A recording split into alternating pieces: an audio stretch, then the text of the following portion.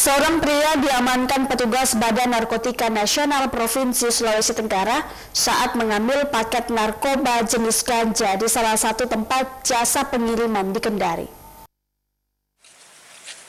ZR 23 tahun digiring ke kantor Badan Narkotika Nasional Provinsi BNNP Sulawesi Tenggara untuk pemeriksaan lebih lanjut. ZR diamankan petugas BNNP Sultra saat mengambil paket narkoba jenis ganja di salah satu tempat jasa pengiriman di Kendari Kamis lalu. Diduga pelaku akan mengedarkan narkotika golongan satu jenis ganja seberat 90 gram di wilayah Kendari. Tersangka ZR merupakan warga Jakarta yang baru lima bulan berdomisili di kota Kendari dengan modus mencari pekerjaan.